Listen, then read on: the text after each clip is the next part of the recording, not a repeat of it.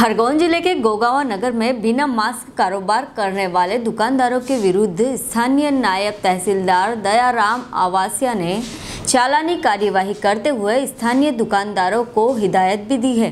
नायब तहसीलदार दयाराम अवस्थिया ने पत्रकारों को बताया कि गोगांव में तीन दुकानों के विरुद्ध मास्क नहीं लगे होने के कारण चालानी कार्यवाही की गई है।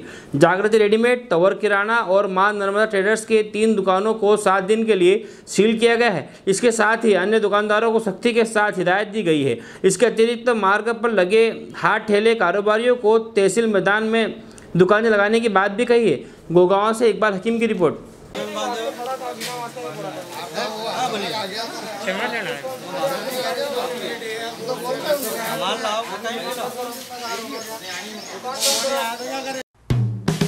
हेलो फ्रेंड्स आप देख रहे हैं हमारा channel S W twenty four news हमारे सारे वीडियो सबसे पहले देखने के लिए आप हमारे चैनल को सब्सक्राइब करें और पास में लगे बेल आइकन को दबाना बिल्कुल भी ना भूलें।